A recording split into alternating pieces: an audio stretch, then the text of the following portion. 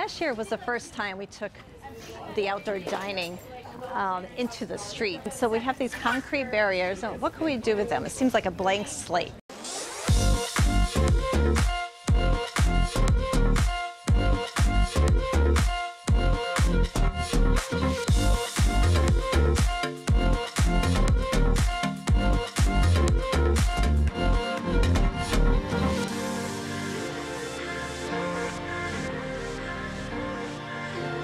Um, I'm going to take everybody in West Hartford to the beach, painting the uh, waves and beach with lots of different birds across, um, oyster catchers, sandpipers, sanderlings, plovers, um, an oyster catcher.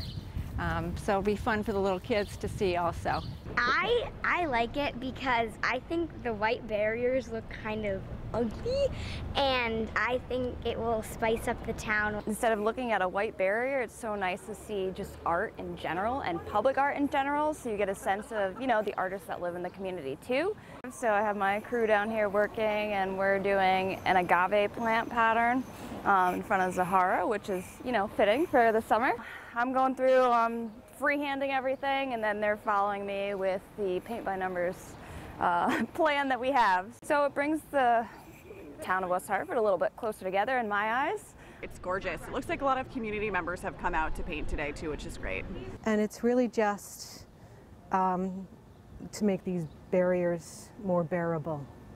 We've got volunteers, friends, neighbors, everybody coming down to Blue Back Square, West Hartford Center to kind of work on it as a group, as a community. And so to have community art literally painted by community is really special. We all come from different backgrounds, so we don't get to do stuff like this every day. So it's a really great way to spend a Sunday morning. I've been involved in National Art Honor Society, so we've been doing like community service um, with art. And it's my, my senior year, so I want to do something before I go off to college.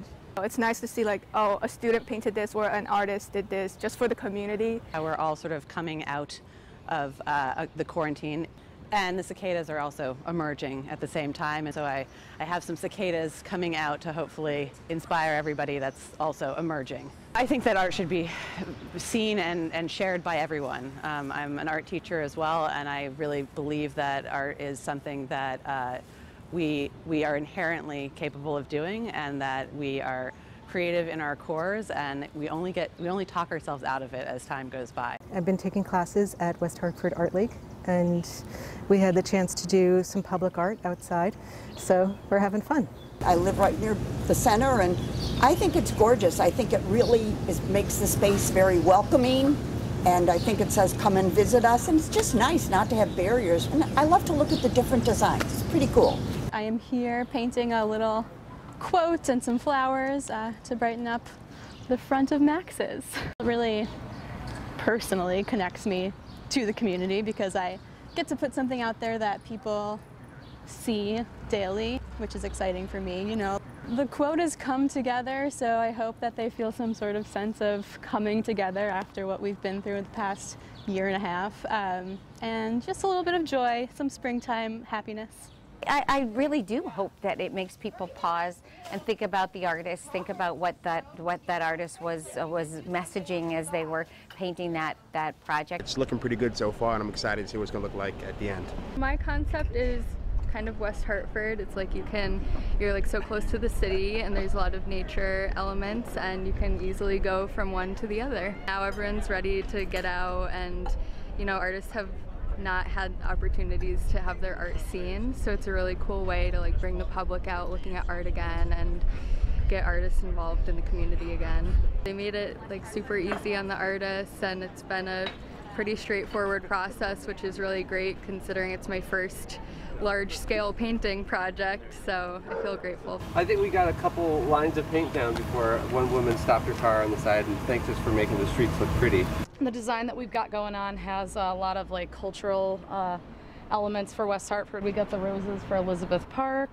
Uh, we have the uh, beers cheersing for like the drink and food culture and like some kids and a dog running just for the you know nod to the people who come to the area. There's a lot of uh, art culture in West Hartford and a lot going on with the Art League. A good way to kind of intro- introduce myself to the community with my artwork. And then we came to look at all the murals. We also have an appointment to paint a heart with a $10 donation that goes to the food pantry. So we're each doing one. It's great to have people in our community doing this and feeling a part of it. So it's pretty exciting. Everyone's really, really happy and smiling here. Yeah, it was a pleasant supply, surprise when we came up this morning just to grab breakfast and to see all the art happening. Yeah. I'm doing farm fields and wine and cheese. I think I'd just like to know that I was part of it. I mean, it's great to have a vision and to be able to see it. That's, as an artist, that's what you want. And we're really excited for the barrier art because we think it gives a great example of beautifying the West Hartford area. That our restaurants have worked so hard to create a safe space for folks. Just really, really impressed with the uh, the time and the efforts that the town has put in over the last couple of years. The uh, the patio um, has become a thing. You know, the the artwork really, really brightens up the center. We have guests that come in from New London, from Fairfield, from Massachusetts, and are just wowed by uh, the town of West Hartford. I was with some people last night and they said, I feel like I'm on vacation when I when I walk around West Hartford Center and Blue Back Square. Just look at how many people are out and about and it's so lively. There's so much going on. I loved it last year when they allowed restaurants to be able to close off part of the street and come out and sit outside because of COVID. And I think it's just it just beautifies West Hartford even more. To literally paint the town as we're here in West Hartford Center, there's something magical about it. And I've taken a few classes at the Art League and one of my instructors suggested that I submit some designs, so I did, and here I am painting. It's the first time I've done this before. I just, I think it's really fun to participate in this, and more people can see it than if you have something in the gallery.